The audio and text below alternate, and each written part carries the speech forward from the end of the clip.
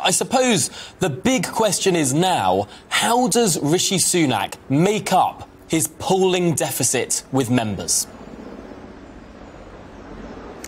By presenting his economic plan to tackle inflation, grow the economy, and get taxes down, he is the right person to get us through what are going to be difficult and turbulent economic times with the global inflation crisis.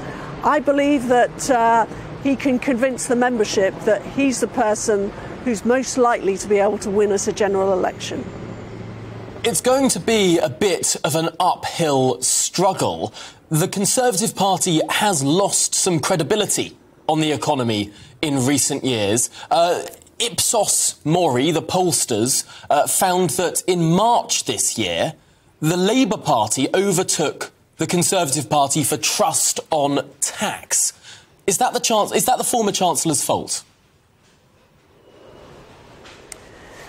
I think the um, the difficulties in the polls for the government over the past few months, I'm afraid, were associated with the you know, the traumatic events leading up to Boris Johnson's resignation. I mean, they, have been damaging for, for all of us, for cons- the Conservative government and Conservative MPs. And that will be a big task for the winner of this contest to rebuild that trust. But Rishi Sunak has showed during the pandemic that he can act fast at a time of crisis within a matter of days from the seriousness of the COVID outbreak being obvious money was arriving in people's bank accounts under the furlough scheme, saving 11 million jobs.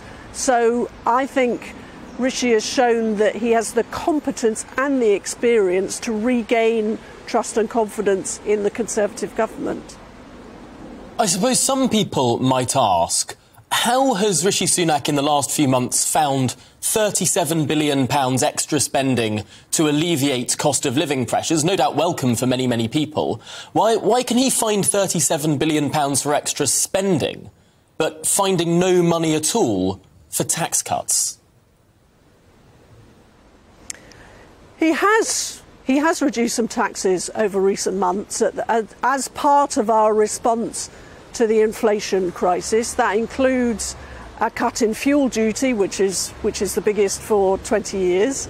It also includes raising the threshold at which people pay national insurance. So that's a cut in tax for millions of households.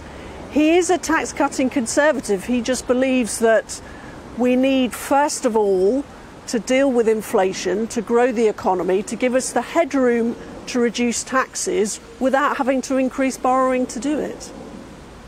I suppose finally in this conversation there has been some blue on blue over the last uh, two weeks or so. Is that going to increase now? How clean a campaign will we see across August? I really hope that we don't see negative tactics. I know that uh, Rishi wants to run a positive campaign about what he can do for the Conservative Party and for the country. Um, so I would certainly appeal to everyone involved in this campaign to focus on, on the positives. We've got two very talented candidates. The membership can take a decision on, on which is best without, without the need for negative campaigning. Being positive is what we should be about in this contest, and I know Rishi shares that view.